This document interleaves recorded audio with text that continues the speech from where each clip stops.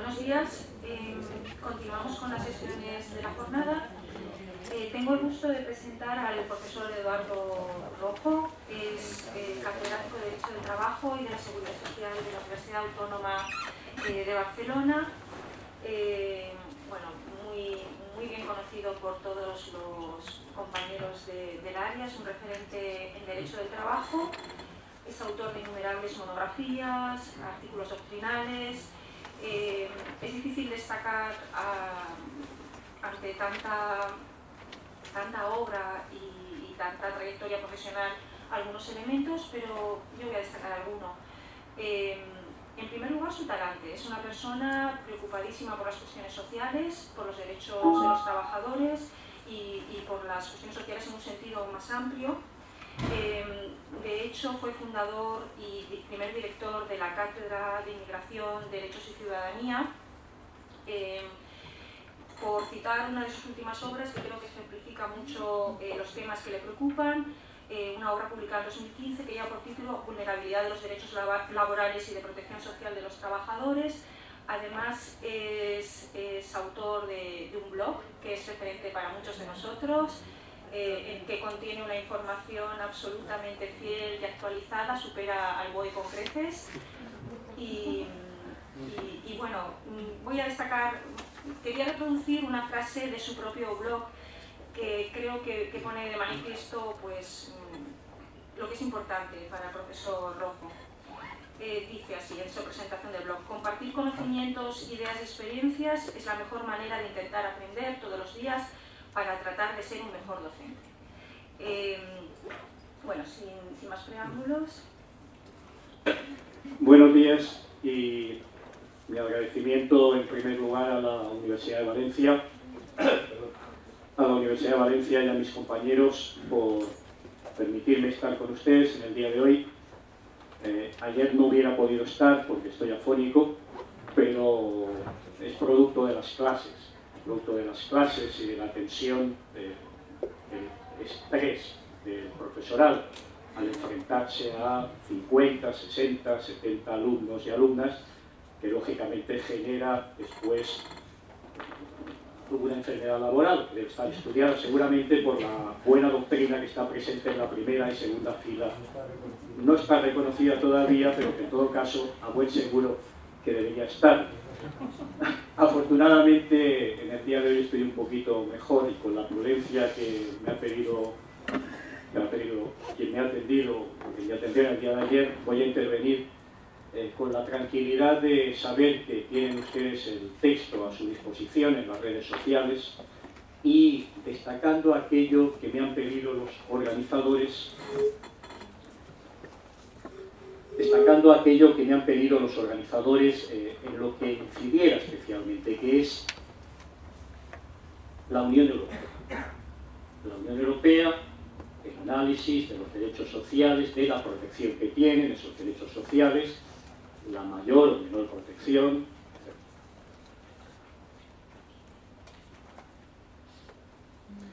Bien, desde esa perspectiva, eh, lo que les quería, tienen ustedes en pantalla el sumario de la ponencia.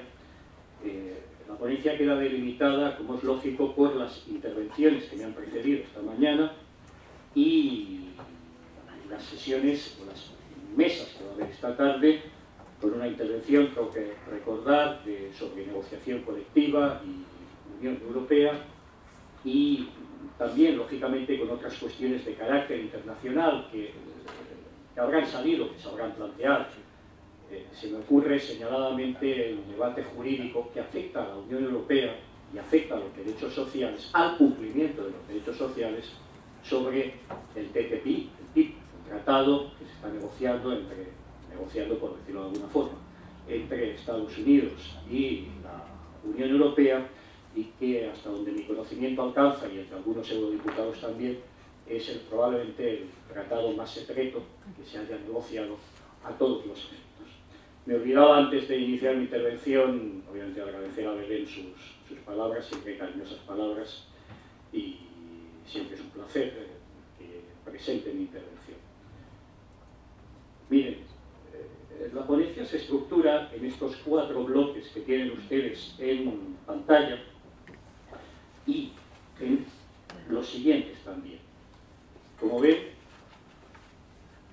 sin necesidad de volver, eh, o volviendo atrás, porque la memoria de una persona de edad avanzada como la mía a veces chirría, si no. El, la primera pregunta que yo me hago en la ponencia es, eh, ¿se está, ¿hay dimensión social de la Unión Europea? En 2015 yo eh, respondo que sí, respondo que sí sobre todo por el acervo histórico que ha habido desde la puesta en marcha de la Comunidad Económica Europea en el año 1957 y por el desarrollo del modelo social europeo, con todos los matices que quieran ustedes poner a esta expresión, con numerosas normas, básicamente directivas, en la época que pudiéramos llamar todavía periodo dulce, periodo dorado del ámbito social, básicamente los años 80 y 90. Eh, a partir de ahí, básicamente coincidiendo con factores de índole político, que, sobre todo para personas que tienen una cierta edad, y no excesiva tampoco, entenderán perfectamente que se refiere a cambios políticos acaecidos en Estados Unidos y en algunos países europeos, el debilitamiento de ese modelo social se produce por la vía de dar mucha más preferencia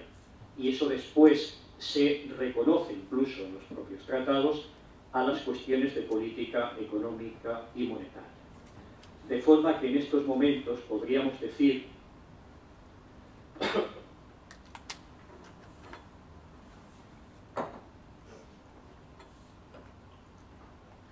de forma que en estos momentos podríamos decir que buena parte, y creo que lo digo sin temor a equivocarme, que buena parte de las decisiones que se adoptan, vinculantes o no, en materia de empleo, por poner el ejemplo paradigmático en estos momentos, se adoptan más en el ámbito de las reuniones de los ministros de Economía y Finanzas, el famoso ECOFIN, que no de los ministros del EPS, de ministros de Trabajo. Y, por consiguiente, cuando uno analiza la estructura actual de la Unión Europea y toda la arquitectura institucional alrededor del llamado semestre europeo, y de la organización de los, proyectos de, directrices, las normas, las reformas cada año que tienen que presentar, los planes que tienen que aprobar los estados y las recomendaciones que tiene que aprobar el Consejo para cada estado, fundamentalmente estamos hablando de cuestiones de política de empleo, no de política laboral en un sentido más amplio, pero dentro de las orientaciones integradas de política económica y de empleo, observen bien la terminología, orientaciones integradas de política económica y de empleo, en las económicas encontramos muchas referencias a las materias laborales, o a lo que públicamente hemos dado en llamar materias vinculadas a mercado de trabajo, señaladamente dos que siempre llaman la atención más de los ministros de Economía que no de los ministros de Trabajo, que es el debate inacabable sobre la flexibilidad y el debate también inacabable sobre la reforma del sistema de pensiones. En definitiva, cuestiones fundamentalmente de índole económico. Yo creo que habría que potenciar mucho más, ya lo adelanto, es una reflexión que también está en el documento, quizá no de la forma como ahora la voy a plantear, pero habría que tener, plantear desde una perspectiva más de política social una presencia mucho más activa del EPSCO, de los ministros de Trabajo y Empleo, y sobre todo también una mayor intervención del diálogo social, que ciertamente sigue siendo importante a efectos formales, pero que en la práctica queda cápita y disminuido por eh, la dificultad de llegar a acuerdos en ese terreno. Bien, esta es una primera reflexión que hago desde el punto de vista de la eficacia y del cumplimiento de lo que es la normativa comunitaria en estos momentos, que es básicamente el TFUE, el Tratado de Funcionamiento de la Unión Europea y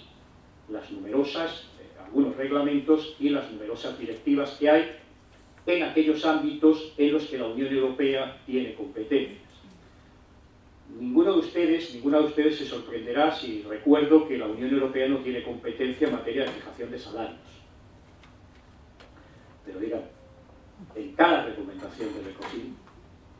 hay casi, yo diría que si no jurídicamente vinculantes, y sé que estamos en un foro jurídico y por lo tanto hay que ser prudente,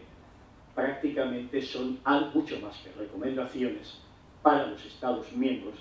dado que si no se cumplen tales recomendaciones puede haber sanciones presupuestarias,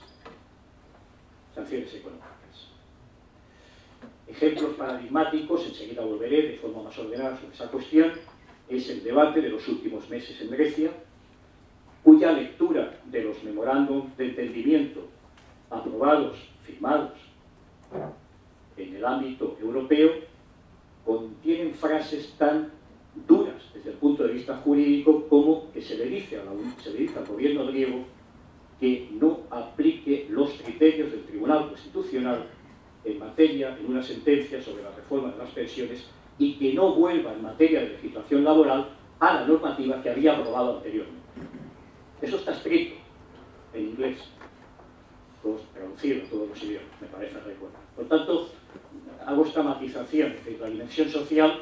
queda oscurecida, me parece, bastante por el desarrollo, por la influencia de las políticas eh, económicas y financieras, fundamentalmente por la influencia de ese ámbito de actuación.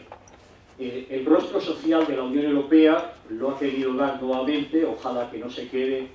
como me decía un buen amigo, Antonio Bailos, en una frase interesada de cara a la galería, lo ha querido dar nuevamente el presidente de la Comisión, Jean-Claude Juncker, en su discurso en la Confederación Europea, en la reunión de la Confederación Europea de Sindicatos, celebrada en París del 29 al 2 de octubre, reunión ciertamente muy importante porque se reúnen todas las organizaciones sindicales europeas, pero de la que ustedes habrán probablemente tenido muy poca información a través de los medios de comunicación, ¿verdad? No deja de ser curioso, ¿verdad? No deja de ser curioso. Bueno, en todo caso, la reflexión de, qué es lo que les interesa a algunos medios de comunicación señalaban. Bien, desde este punto de vista quiero recordar que Jean-Claude Juncker ha dicho cosas que la mayor parte de quienes estamos aquí suscribiríamos, como que el contrato indefinido debe ser la regla de las relaciones de trabajo y el open-ended o el contrato único o el contrato por tiempo determinado eh, debería ser la excepción, que por un trabajo de igual valor tiene que haber un salario, un salario igual y eh, que la normativa social debería haber esa palabra que utilizamos desde que la OIT también la acuñada, ese piso, ¿no? ese piso de mínimos de normativa en materia de condiciones laborales y de empleo. Yo me quedaría satisfecho más que con nuevas normas, si se cumplieran estrictamente las directivas existentes y su traslación al ámbito, al ámbito, profesional, al ámbito laboral de cada Estado. Bien, lógicamente esas declaraciones de Jean-Claude Juncker mm, han tenido algunas, han sido recibidas algo críticamente desde el punto de vista sindical, dado que lo que se plantea es justamente que bastaría con, realmente con poner en marcha muchas de las medidas que ya existen para intentar garantizar la protección de esos derechos sociales. Bien,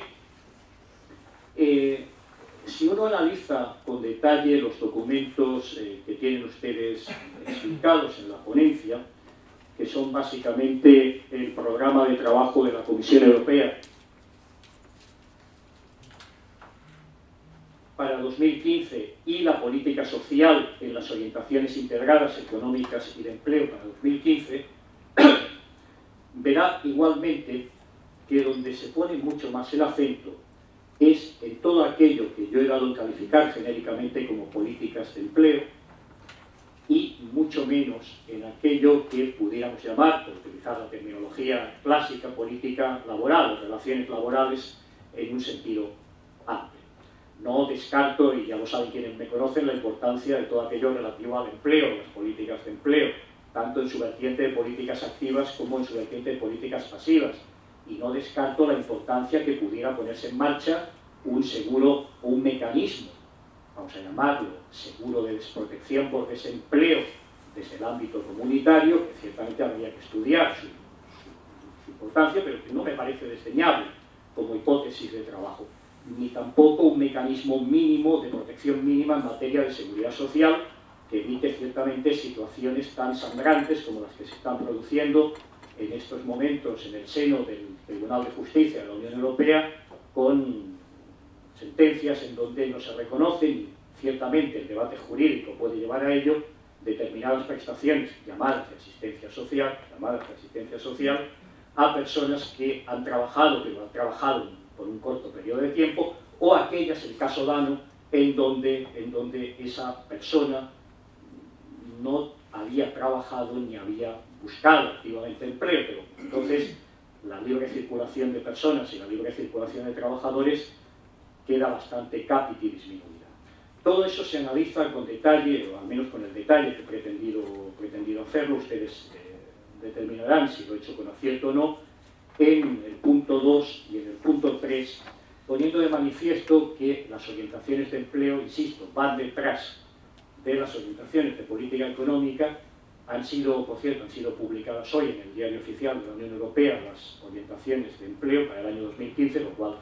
es la fecha en que estamos, ¿no? tampoco es que sea un prodigio, pero no se preocupen porque eso también nos pasa en España, que aprobamos planes anuales de política de empleo y los publicamos en septiembre y, sin y las partidas presupuestarias se aprueban más tarde. Pero bueno, son pequeños detalles que como no toca hoy hablar de España, no, no tienen más importancia. Desde esa perspectiva, yendo avanzando un poquito más en la ponencia, lo que he estudiado, y, aunque no tenga valor jurídicamente vinculante, como saben ustedes, las resoluciones del Parlamento Europeo, pero sí son un poco el termómetro, el termómetro de aquello que puede plantearse desde los distintos grupos eh, de los europarlamentarios para que la Comisión, para que el Consejo, para que los Estados miembros eh, pongan en marcha. Claro, eh, yo no sé si en razón de ese carácter no vinculante, de esa mayor libertad de que disponen en sede, en sede, en sede europarlamentaria, las resoluciones son bastante más lanzadas en términos de reclamar el reconocimiento de determinados derechos que las normas comunitarias. Ciertamente normas comunitarias muy pocas, ¿no? Últimamente, por lo que respecta a materias laborales y alguna con mucha prudencia para que no se toque como es la de ordenación del tiempo de trabajo, al menos hasta el momento presente, ¿de acuerdo? En esas resoluciones del Parlamento Europeo encontrarán ustedes fundamentalmente tres, una en la que se destaca el papel de la inspección de trabajo en el cumplimiento de la normativa laboral, una segunda en donde se hace un repaso al estado de los derechos fundamentales en la Unión Europea, me imagino en una línea parecida a algunas intervenciones, ¿verdad? con puntos de, concordancia con algunas intervenciones que me hayan precedido, de personas que me han precedido en, intervención, y eh, la más importante probablemente para mí, la de mm, orientaciones para la política, orientaciones para la política de la Comisión, programa de trabajo de la Comisión para el año 2016 en donde ciertamente hay una cuestión en donde todos podemos coincidir, creo que podemos coincidir en su importancia, que es la regulación de los derechos de los trabajadores desplazados. Y señaladamente el debate que cada vez tiene más importancia del cumplimiento de la directiva, lejana ya en el tiempo, ¿verdad?, de 1996, pero señaladamente en materia salarial ciertamente el problema no es la directiva, el problema es la interpretación que de la directiva ha hecho la jurisprudencia del Tribunal de Justicia de la Unión Europea, básicamente en algunas sentencias, quiero recordar, una de Alemania, cuyo nombre no recuerdo ahora, y alguna otra en donde las condiciones salariales, las condiciones salariales, eh, salvo que sean reguladas, recuerden el debate por convenio colectivo de eficacia general, lo cual en España no nos plantearía ningún problema, curiosidades de la vida, en otros países no se les aplica el salario del convenio del metal, por recordar, de un land de Alemania, justamente porque no era la aplicación, al menos jurídicamente, a todas las empresas del sector, jurídicamente hablando. Desde esa perspectiva, todo aquello que sea avanzar en una línea de mayor reconocimiento, mayor protección de una figura que cada vez es más importante en la Europa comunitaria, que es la de los trabajadores desplazados en el seno de la misma, y no me refiero a los extracomunitarios, sino que me refiero a trabajadores comunitarios, en este caso fundamentalmente, sería muy importante. Eh, ciertamente el bloque más duro, el bloque nuclear de lo que yo creo que debería estudiarse por las personas que quieran analizar el cumplimiento, cómo se está garantizando el cumplimiento de los derechos sociales en el seno de la Unión Europea, pasa por conocer fundamentalmente el TFUE, pasa por conocer las directivas, pero sobre todo por conocer cómo el Tribunal de Justicia de la Unión Europea, básicamente mediante la cuestión prejudicial, básicamente mediante las cuestiones prejudiciales planteadas por los tribunales, los juzgados de tribunales, los españoles se incorporaron lentamente, pero últimamente hay asuntos muy, muy interesantes al respecto, se ha ido pronunciando. En la ponencia tienen ustedes eh, tres casos, este, en, esta presentación algunos más, pero no sé si por razón de tiempo eh, vamos a poder eh, referirnos a ellos. En la ponencia tienen tres supuestos de las últimas sentencias del Tribunal de Justicia, todas ellas, se lo digo con toda sinceridad, fusiladas, pero autofusiladas, que yo sepa todavía no está prohibido ¿no? El autocopiarse en un texto, ¿no? Quiero recordar que todavía no hay ninguna prohibición jurídica al respecto de Cedro ¿no? o de alguna de esas, eh, que las personas aquí que conocen mejor la materia me digan algo de contrario. Hay tres las tres que les he traído a colación me han parecido interesantes, sobre todo porque son muy recientes. Una, de prohibición de discriminación por origen racial o étnico, una cuestión que se plantea poco en sede, en sede comunitaria, desde el punto de vista laboral y que tampoco es estrictamente desde el punto de vista laboral, pero que afecta a la directiva, que es eh, si a una señora que es propietaria de la vivienda ubicada en una zona determinada de un barrio, de una ciudad búlgara, donde la mayoría de los habitantes de ese barrio son de una determinada etnia, se le puede cobrar la eh, electricidad, se puede cobrar más cara en otras zonas de la misma ciudad.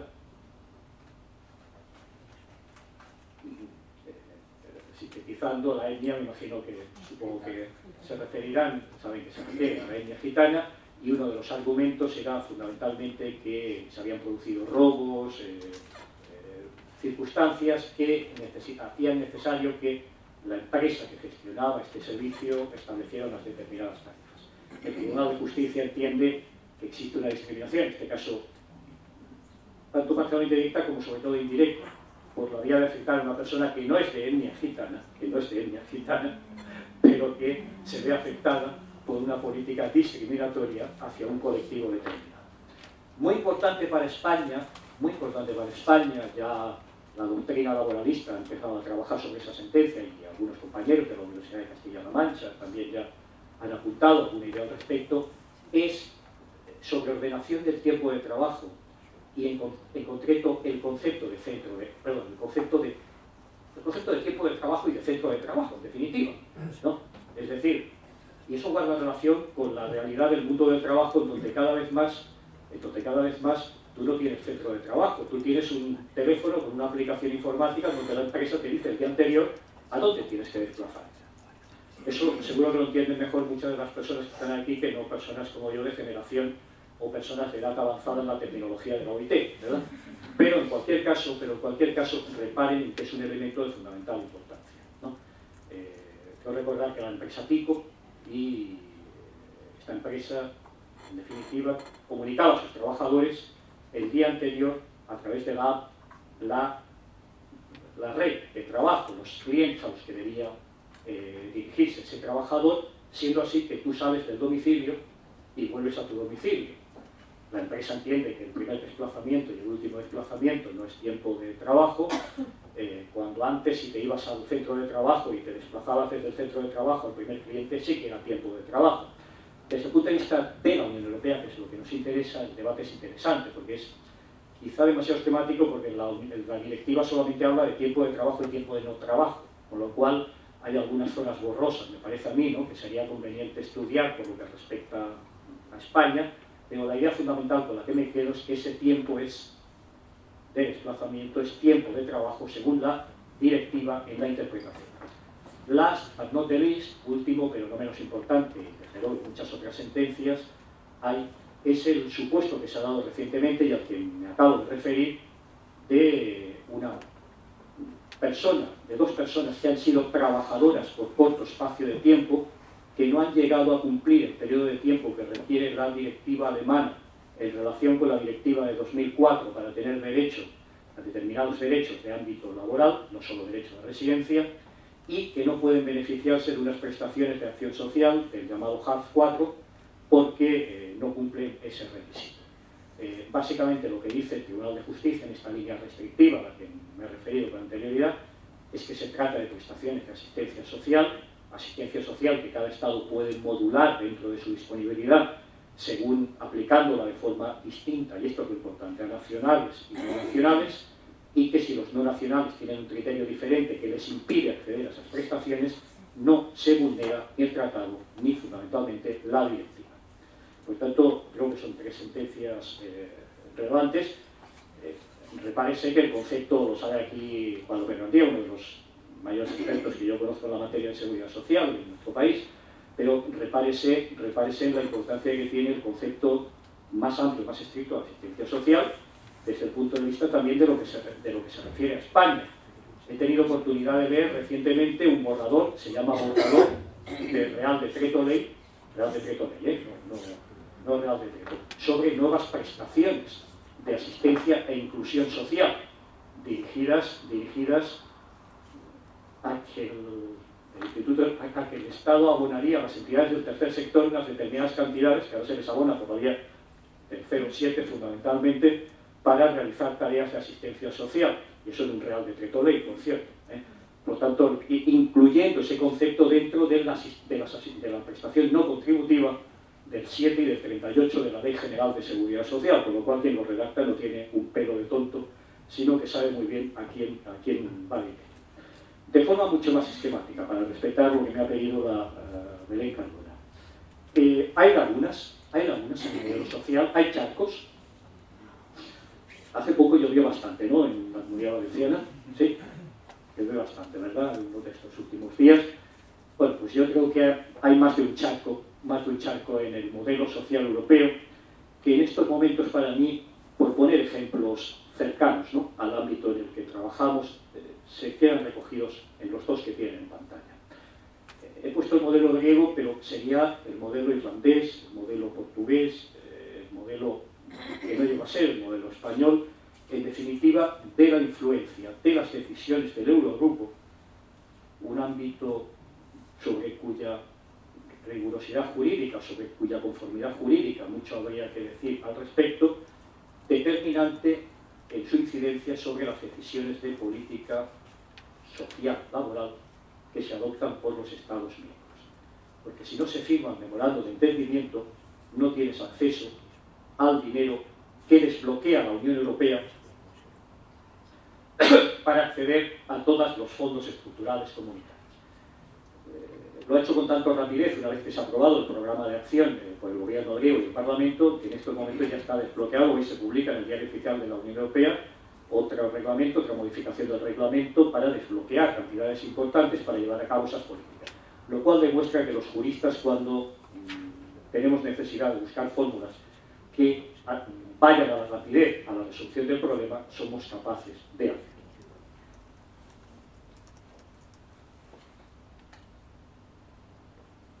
Europa tiene un problema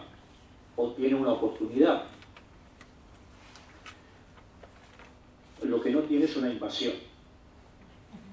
Y por eso, como persona de firmes convicciones religiosas, me duelen profundamente las manifestaciones las declaraciones que ayer efectuó don Antonio Canizares. Y no diré más porque son, me salen desde mi convicción religiosa. ¿De acuerdo? Trasladado al ámbito jurídico, trasladado al ámbito jurídico, el debate en estos momentos es ver qué alternativas jurídicas hay en cuanto a la regulación del derecho de asilo. En esta universidad hay personas que obviamente conocen muy bien la materia, están estudiando, y al mismo tiempo tener presente que ese número de personas que están llegando, básicamente de situaciones afectadas por guerra, por pobreza, quizás no todas ellas, pero sí una parte importante, pueden tener la consideración jurídica de refugiados. Que eso genera, y eso hay que decirlo también con toda claridad, genera, si se reconoce ese estatus, una serie de derechos al amparo de la normativa vigente, uno de ellos, y no menos importante, es el de acceso al ámbito laboral y que eso hay que saber gestionarlo juntamente con otra realidad que no podemos olvidar, que es la realidad de la inmigración, llamada, comillas, económica, que ciertamente genera también una serie de situaciones conflictuales, ¿no? perspectivas desde el punto de vista jurídico. En cualquier caso, lo que sí demuestra también la realidad de la crisis de los refugiados es que en solo dos meses, desde que se aprobó la Agenda Europea de Migraciones en, mayo de 2015, pero fundamentalmente en septiembre, una vez que, la Unión Europea se puso otra vez en marcha, si me permiten la expresión, en septiembre se han adoptado tal cantidad de medidas, otra cosa es el grado de eficacia que vayan a tener a medio plazo, que permiten pensar que hay dinero global para desbloquear determinadas partidas, fundamentalmente para gestionar situaciones de crisis humanitaria, y en segundo lugar, y no menos importante, que mirando desde otra perspectiva, nos acercamos mucho a las personas, a la crisis de los refugiados, pero la Unión Europea también está volviendo sobre sus pasos y está planteando la necesidad de una política más fuerte, más exigente en materia de retorno. En materia de retorno. Si ustedes leen el acuerdo entre, planteado a Turquía por el presidente Juncker el 5 de octubre, verán ustedes cómo el dinero que se le puede facilitar a Turquía para que ponga en marcha determinadas políticas va vinculado estrictamente también a un control muy, muy superior al que en estos momentos existe de las fronteras con la Unión Europea. Pero este es un debate, insisto, que tiene una, vis política y una vis, y una vis, eh, y una vis jurídica, que a mí me interesa sobre todo destacar la importancia que tiene la regulación del derecho de asilo y la necesidad de establecer mecanismos que en este caso permitan una justa política de redistribución, llámese relocación, llámese reasentamiento, pongan ustedes la palabra que más les guste. En definitiva,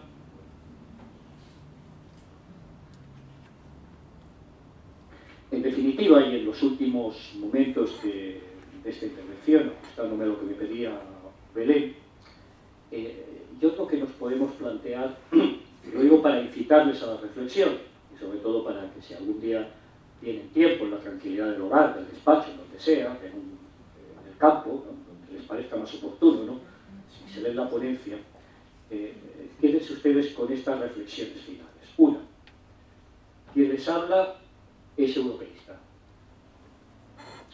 aunque solo sea porque, como digo en el documento, el primer curso de formación sindical que pusimos en marcha con el profesor Pérez Amorós en la Universidad de Barcelona, en el lejano ya, para nosotros obviamente, año 1986, fue sobre los derechos sociales, el Tratado de la Unión Europea y los derechos laborales. El primer curso en el año, cuando en aquel entonces, por cierto, ahora que no me oye nadie, hacer un curso en la universidad con los agentes sociales era algo que no tenía connotaciones demasiado académicas. En estos momentos, afortunadamente, me parece que eso ha quedado superado, ¿verdad? En segundo lugar, ese carácter europeísta tiene que pasar la prueba del algodón, que es que se ha ido debilitando ciertamente esa esperanza de que la normativa europea fuera una palanca de cambio, en, de progreso en los derechos económicos y sociales de la mayor parte de las personas, y en tercer lugar, que eso no, es, eso no necesariamente tiene que ser así siempre, sino que existen movimientos, que existen políticas, que existen estructuras como trato de explicar también en mi ponencia, que puede permitir que la Unión Europea, aunque sea a 28 con toda la complejidad que tiene, pueda seguir siendo un espacio, primero, en donde se garanticen esos mínimos de derechos sociales. Segundo, en donde los estados que tengan posibilidad para ello puedan desarrollar más sus políticas laborales y sociales. Y en tercer lugar, que el Tribunal de Justicia siga dictando sentencias que avancen en interpretaciones amplias de esos derechos y que dicte menos sentencias que pongan la libertad de prestación de servicios y la libertad de establecimiento por delante de los derechos fundamentales. La prueba del algodón y a cabo la tendremos si finalmente llega el caso de Ryanair contra Dinamarca. Veremos exactamente qué es lo que dice el Tribunal de Justicia. Muchas gracias.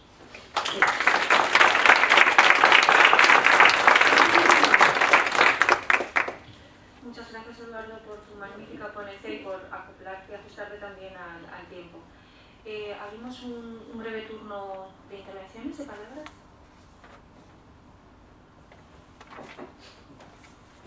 Juan. yo también estoy constipado. no reconocen una enfermedad profesional. Espero que no lleguemos a tener problemas de nódulos de las cuerdas vocales, ¿no? que tendríamos problemas. ¿no? pero creo que no. Bien, me gustaría que poco comentar el caso este de la seguridad social del caso alemán, ¿no? Eh, hasta qué punto, bueno, puede abrir una, una un problema grave que Europa va a tener de las desigualdades y el problema del turismo social, ¿no? Yo no sé si tú ves ahí el inicio de una fase nueva de restricción de, indirecta de lo que es la libre circulación de trabajadores, porque por un lado, claro, reconocemos la libre circulación porque es un principio clarísimo, pero luego por vías indirectas estamos, eh, Europa está retrocediendo, creo yo, en este tema, ¿no? porque limita periodos de estancia, problemas de residencia, problemas de prestaciones que al final no cuestiona la libre circulación, pero acabamos volviendo otra vez a esa idea de que solo si tienes trabajo. Eh, aunque sea un Kurzarbeit, que parece que ahora es maravilloso, se lo ha declarado hoy el, el ministro alemán, diciendo que no era comparable a la precariedad española, ¿no? Bueno, pero usted, bueno, a lo mejor la única vía sería ya que vas a buscar trabajo, que sea un mini trabajo, pero al menos que no te puedan expulsar acusándote de turista social rumano o lo que sea, que va a París o va a Alemania con la finalidad de obtener prestaciones. A mí es que me suena otra vez el efecto llamada a nivel europeo, igual que se formulaba aquí en España cuando la migración eh, irregular venía porque había derecho a prestación. ¿no? Es, un poco, yo creo, que, ¿qué tendencia ves tú ahí en la Unión Europea? ¿Cómo ves? Pues la, la tendencia no es precisamente, a mi parecer, desde el ámbito de de ampliar el espacio de la libre circulación. Eh, pero no solo por lo que acabas de, indicar, sino también porque escuchando las declaraciones del primer ministro británico, Cameron, eh, él plantea con toda claridad, vulnerando flagrantemente, me parece, el Tratado de la Unión Europea, en cualquier caso, que tiene que haber diferencia de trato durante un determinado periodo de tiempo para los inmigrantes para los comunitarios de última incorporación, si se me permite la, expresión. Por tanto, que no tendrían los mismos derechos en materia de prestaciones que, que los comunitarios de vieja o de antigua generación. No sé dónde está escrito eso en el Tratado de, la Unión Europea, en las directivas. Eh, por no hablar ya de las exclusiones que se refiere o las limitaciones para los extracomunitarios, en fin, esa sería otra cuestión. Las dos sentencias, eh, efectivamente, la última es el caso, la última es el caso que he explicado, la que abrió las puertas al debate fue la llamada, no recuerdo la fecha, creo que es de noviembre de 2014, que se llamaba Casolano, pero esta todavía tenía una cierta tenía una cierta particularidad que podía encajar más dentro de las restricciones, que es que la persona que solicitaba prestaciones, que las había tenido, pero que posteriormente se las eh, retiraron, no era, vivía con una hermana, si no recuerdo mal, era de nacionalidad rumana, la hermana le mantenía, pero esa persona no eh, quedó probado, quedó probado, que no trabajaba ni buscaba activamente trabajo. Y como las prestaciones, en el caso, son todas, las dos son del caso alemán, por cierto, vinculadas al, al, modelo HAB, al HAB 4, si no recuerdo mal, eh, en este caso las prestaciones tienen siempre un punto de conexión con el trabajo, el Tribunal de Justicia dijo que no tenía cabida la situación de esa persona dentro ni de la normativa comunitaria, la directiva de 2004, me parece que es, y el reglamento, el reglamento también de 2010, ¿verdad? Y la, y la, normativa alemana. El caso segundo, esta sentencia última de 15 de septiembre, creo recordar, creo que es algo más complejo y que va en la línea que tú apuntas, porque esas personas que solicitaron las prestaciones, dos personas, madre e hija, habían trabajado. Y eran, eh, por recordar que nacionalidad sueca, si no me falta. Habían trabajado, pero por un periodo de tiempo que no llegaba al que establece la normativa alemana y la directiva de 2004, la directiva de 2004 en relación con el reglamento, si no recuerdo mal, para eh, poder acceder los trabajadores extranjeros. Entonces, lo que hace el Tribunal de Justicia es entender que lo que ha hecho el gobierno alemán, primero, en la definición de qué es de qué son prestaciones no contributivas. Como sabes, este es un debate... Eh... Hay casi nunca se había cuestionado en base de la residencia, ¿no? El caso español está claro, ¿no? La residencia lo que vincula, pero claro, si empezamos a meter Hay no contributivas, requisitos que son contributivos, creo yo. Sí, sí. No sé si en Alemania eh, va vinculado, efectivamente, va vinculado al criterio, porque ya no es carencia de renta, residencia, sino también... Ellos lo incluyeron, exacto, como tú muy bien dices, Alemania lo incluyó en el anexo de 2011 en, en la relación de prestaciones no contributivas, en esos anexos que no nos leemos nunca porque son larguísimos, ¿no? Y que en muchas ocasiones no entiendes absolutamente nada de qué son esas prestaciones, lo incluyó, fue una modificación de, las, de la normativa HARF 4 y se entiende que son prestaciones que en algún punto guardan relación con haber trabajado más de un determinado periodo de tiempo. Eso, el Tribunal de, como están financiadas vía impuestos, el Tribunal de Justicia, con el análisis clásico, dice que son prestaciones no contributivas porque no resultan de la cotización, etcétera, etcétera, y como usted no ha llegado a ese periodo que se requiere, según dice el artículo, no recuerdo cuál es, usted no está incluida en ese supuesto y por tanto no tiene usted derecho a esas prestaciones. Es decir, que no vulnera la actuación alemana, la, decisión del Servicio de Empleo alemán, de la Oficina de Empleo de denegar las prestaciones, no vulnera ni el tratado, ni el TFUE respecto a la libre circulación, ni de personas y de trabajadores, ni, ni la directiva sobre de derecho a residencia, la de 2004, el reglamento de coordinación de seguridad social de 2010 y, eh, la, por supuesto, la normativa alemana. Por tanto, eh, los mini trabajos, ya no sé cómo se llame, si no alcanzas un determinado periodo de tiempo, durante otro determinado periodo de tiempo, no van a posibilitarte con esta lógica, con esta lógica al menos en Alemania, que tú tengas derecho a las prestaciones. Pero ítem más, lo importante de todo esto que es, lo importante de todo esto que es, que como usted no cumple los requisitos para tener derecho a prestaciones, usted no tiene derecho a, a, recibir el apoyo. O sea, la conclusión, digamos, de a pie es que usted va a ser jurídicamente conforme al derecho